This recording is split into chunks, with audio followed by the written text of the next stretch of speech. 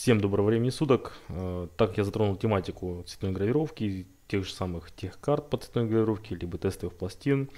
Вот. Также хочу показать, как все-таки делать э, красивую картинку цветную за один проход, без заморочек, как это все состыковать, ну, по крайней мере, как это делаю я. Есть э, две или три методики, это в работе именно в Ескаде. В моем случае почему-то одна из методик не работает, я ее потому отстранил, показывать не буду, в будущем, возможно, покажу. Сейчас мы посмотрим вариант состыковки, то есть разбитие макета на слои и потом их состыковки.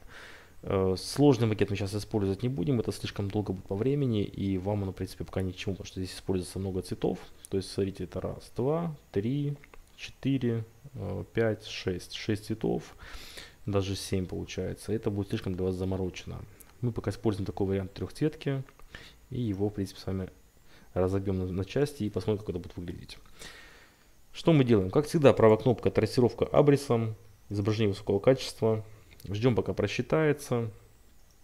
Ставим максимальное разрешение, то есть максимальное качество 100%, детальность. Переходим в цвета. В цветах мы выставляем 30 э, цветов, потому что нам надо сохранить именно 3 цвета качественных. Выделяем все, что связано с желтым цветом, нажимаем слияние. Выделяем все, что связано именно с черным цветом, также нажимаем кнопочку слияния. Опять же расскажу, это методика лично моя, поэтому кто хочет ей пользоваться, кто хочет и не пользоваться. Понимаю, что есть там куча разных вариаций еще, делать по-своему. Вот. Так, а, по сути нам белый здесь цвет не нужен, поэтому переходим, кстати, похоже на, на немецкий флаг. Вот, цвет из всего изображения, белый, мы отсюда убрали. Есть. И нажимаем, по сути, только лишь ОК. Готова наша картинка. Что я здесь обычно делаю? Выделяю по группам а, цвета и их, получается, группирую. То есть ну, у нас будет желтый цвет, то есть э, правая кнопка разгруппировать все. Выделяем желтый, удерживаем кнопочку Shift, выделяем остальной желтый цвет. И нажимаем правой кнопочкой группировать, либо группа. Отлично.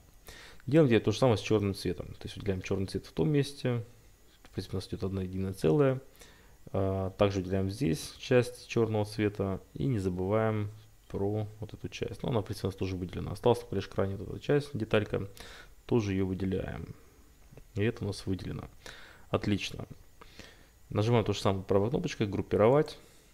Группа, отлично. Остается у нас красный цвет. С красным цветом делаем то же самое. По сути, у нас здесь его немного.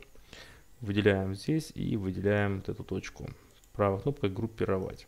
Единственное, в тот момент, когда я делал группировку по желтому цвету, по-моему, я упустил это маленькое пятнышко. То есть нажимаем на желтый цвет через Shift на маленькое пятнышко. Еще раз. Желтый, пятнышко, правая кнопка группа. Теперь все очень просто. Настолько просто, что здесь заморачиваться вам не надо. То есть мы теперь просто разбиваем их на группы по цветам, так как будет нам удобно.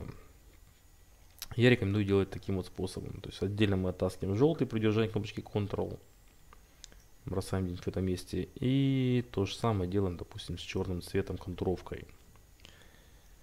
То же самое. Оттаскиваем сюда и здесь его бросаем. По сути, вот наш весь макет. То есть макет четко прорисованный, четко сделанный по цветам разбитый. Мы теперь его сохраняем. Сердце, лов из э, цвет. Ное, цветное. Окей, сохраняем в формате CDR обязательно и сохраняем в формате DXF. Нам понадобится только лишь формат DXF. Окей, сохранить. Окей. Переходим в программу ESCAD. Нажимаем Ctrl-B. Сердце. Ловис цветное. Открываем наш макет. И по сути вот он наш макет. Здесь суть основная в чем. Нажимаем Ctrl-U, разгруппировываем Выделяем нашу контуровку черным цветом. К примеру, у нас будет черный цвет. Опять же, мы смотрим по таблице наших цветов. Uh, у меня, допустим, черный цвет составлял, там, по-моему, скорость у него была 100. Uh, мощность 10%, частота 50 кГц. Это при условии, что станок у меня является GPT-50LP. Делаем то же самое здесь, такую же ситуацию. И теперь по черному цвету мы прописываем плотность заливки и, соответственно, ставим маркер черный. Маркировка контура нам здесь не нужна, кросс-хатч нам здесь не нужен. Нажимаем ОК, получаем вот такую вот черную контровочку. Делаем то же самое с красным цветом. К примеру, чисто гипотетически, гипотетически красный цвет у нас будет именно красным цветом. А, по красному цвету у меня является мощность 10%, э, скорость 80%, частота 33 э, килогерца. Теперь делаем заливку все то же самое, то есть заходим в заливку, выбираем красный цвет, параметры оставляем те же самые, то есть все подходит, на все устраивает, красный цвет готов. И остался, у нас цвет желтый. Ну, давайте так, так же сделаем, то есть начинаем желтый цвет, а, по желтому цвету, по-моему, у нас было скорость была 80, а, мощность была 8%. Даже сейчас гляну по своей табличке. Так, а, желтый цвет у нас был 31 килогерц на 120. Смотрите. Так, здесь прописан 120. Мощность 10%, 31 килогерц. И здесь то же самое ставим 100 на 100. Отлично, желтый цвет готов. И вот то же самое. Сделаем заливку по нему. Выбираем желтый цвет. Параметры оставляем те же самые. Окей, готово. Теперь остается очень простая вещь. Это все дело состыковать и получить, в принципе, готовый макет для гравировки. Состыковку мы начнем в таком же порядке, как и расстыковывали. То есть подтаскиваем сначала черную контровку. с легким смещением мы поставим. Приближаемся. И теперь просто надо ее довести уже до полного сходства со старым макетом. Я понимаю, что это работа топорная, но все же это работает, это действует. И таким образом можно создавать определенные макеты. И теперь делаем то же самое теперь с нашим желтым цветом. Цепляем его и тащим на свое место.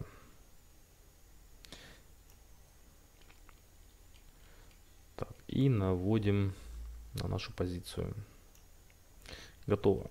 По сути, наш макет готов. То есть э, все, что мы сделали, у нас теперь есть э, три разных слоя с тремя разными параметрами. И они будут гравироваться в последовательности. Сначала будет черный, потом красный, потом желтый. Этот момент обязательно учитывайте. Это простой вариант гравировки именно трехслойного трехцветного макета. То есть здесь сложности никаких не составляет. Единственное, вам надо было предварительно, ну, э, прежде чем делать будет макет, естественно, в самом Coral Draft вы изначально задаете макет, э, размер макета, чтобы вы понимали, э, в дальнейшем поменять его будет довольно сложно, то есть и соблюдать пропорции. Вот, поэтому этот момент обязательно учитывайте. Почему мы не делаем немножко наоборот? Почему мы это не делаем в собранном макете? Я вам сейчас покажу одну вещь, потому что здесь э, попасть, либо сгруппироваться, либо состыковаться эти все макеты, либо выделить нужные макеты. Довольно-таки будет сложно попасть этот вариант. То есть мы это удаляем. Ctrl-B опять берем CRC Lovis, цветное. Эм, ну, давайте даже вот здесь сейчас это сделаем. Сделаем такой же логичный вариант, только лишь здесь. Нажимаем три раза Ctrl-Z. Теперь сохраняем этот же макет в формате цветное.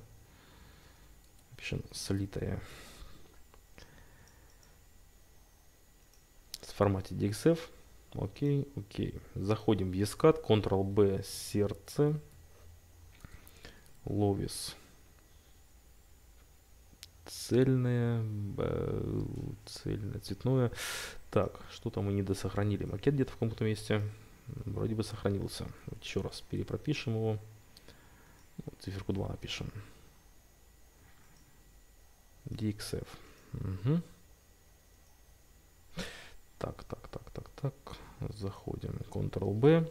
Сердце. Цветное. Угу сердце Ловис. Ловис. Вот, цветное 2. Загружается наш макет целиком. А, смотрите, здесь у нас идут такие вот моменты, что у нас черный цвет, контуровка, плюс у нас цвет идет а, желтого либо красного. Теперь наша задача, сложность именно в том, что мы должны а, выцепить сначала непосредственно наш, ну, к примеру, там внутри был желтый цвет, то есть все, что с ним связано. То есть сделать все то же самое здесь, здесь, и вот эти вот точки маленькие. Мы их все выделяем, грубо говоря, да, там, ну, грубо говоря, назначаем там желтым цветом. Вот еще тут не добавили туда. Хотя мы ее, возможно, добавили, но, возможно, находится у нас под, под низу. Вот, э, делаем заливку, ну, грубо говоря, сказать, те же самые там, желтым цветом залили. Теперь вопрос, как нам попасть э, на линии, которые находятся под низу, под этим желтым цветом. То есть нам надо опустить на слой ниже, заморочиться и потом попасть на эти тонкие линии, чтобы эти тонкие линии сгруппировать уже под красный цвет, под все остальные. Это сделать довольно-таки сложно. Либо есть еще один вариант, конечно, он тоже довольно-таки такой геморройный, потому что, смотрите, как получается, мы можем, допустим, сейчас пробежаться отдельно по слоям, то есть выделить другие цвета. Ну, например, у нас будет э, черный цвет, да. Вот, э, черный цвет. То есть каким-то там образом там на слой ниже, допустим, опустим этот вариант. Давайте сейчас попробуем сделать такой момент. Как она сделается, хрен его знает. Так, и так, так, так, так. Вы закопировать, вставить. Есть в параметрах здесь изменить, либо там на слой ниже, на слой выше опустить. Ну, суть в чем, что это геморрой. То есть э, мы можем сделать потом вы, вы, выборку именно по цветам здесь, допустим, таким вот образом. И сделать заливку, соответственно, по нашей выборке. Такое сделать возможно, но это усложняет задачу. Поверьте мне, э, разница в состыковке будет не особо большая, что вы делали вручную, что у вас будет автоматически состыковано все. Единственное, вы научитесь, опять же, э, при выборке цветов, при выборке векторов, вот, потому что в реальности э, это всего лишь три цвета у нас. Если вы используете макет, допустим, там, ну, грубо говоря, там 6-7 цветов, то вы намучитесь. Кто за мной следит э, в Инстаграм, тот, в принципе, видел у меня макет э, авокадо. Э, он, по-моему, был сделан там или из 6, или из 7 цветов разных. Вот. И там линии довольно-таки тоненькие, сами себе макет очень маленький был, размером, по-моему, там 26 на 22. И в нем найти все эти цвета довольно-таки будет, ну, то есть не цвета, а именно линии под каждый свой цвет очень сложно. Тем более, когда их там куча, куча мелких цветов, допустим, да, там, там, знаю, там, какие-нибудь там рябь, морщинки, там, не знаю, пупырчики у вас торчат, то это довольно-таки все сложно и геморройно. Поэтому я рекомендую именно разбивать по группам, как я делал вот в, этом, в этой ситуации, то есть Э, разбивайте на такие вот три группы, и три группы отдельно уже потом состыковывайте в горизонтальной линии. То есть это самый-самый простой вариант. Ребят, э, видос, я думаю, был бы для вас полезен, кто занимается цветной гравировкой, либо планирует заниматься цветной гравировкой на станках GPT э, серии LP, либо серии M7 MOPA. Для вас этот видос будет ну, реально актуален, потому что вы сможете действительно работать, выполнять свои задачи и выполнять их качественно. От вас, соответственно, лайк, фидбэк, пишите, не знаю, комментарии, задавайте вопросы, предлагайте темы следующего видеоролика. Опять же, темы адекватные, если будут, будет все хорошо. Неадекватные темы я не рассматриваю варианты. Все, ребят, всем хорошего настроения, всем пока-пока.